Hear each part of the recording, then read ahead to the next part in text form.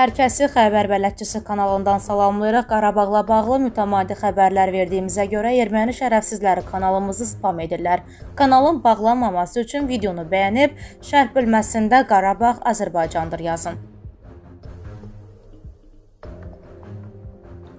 Rusiya ilə İdlib mövzusunda qəbul etdiyimiz müqavilələrə əməl edirik. Məsuliyyətimizin fərqindəyik. Müttəfiqlərimizdən də qəbul edilən müqavilələrə əməl etmələrini gözləyirik. Bunu Türkiyənin Milli Müdafiə naziri Hulusi Akar bildirib. Nazir İdlibə hücum nəticəsində Türkiyə ordusunun iki əskərinin şəhid olmasından söz açaraq deyib, dostlarımız xain alçaq hücum nəticəsində şəhid oldular. Şəhidlərimizin qanı yerdə qalmadı, qalmayacaq. Qeyd edək ki, bu gün Hulusi Akar Türkiyə Silahlı Qüvvələrinin baş qərargah rəisi general Yaşar Güler və quru qoşunları komandanı general Musa Avsevi ilə birgə Hataya gedərək Suriya ilə sərhəd xəttindəki birlik komandirləri ilə görüş keçirib.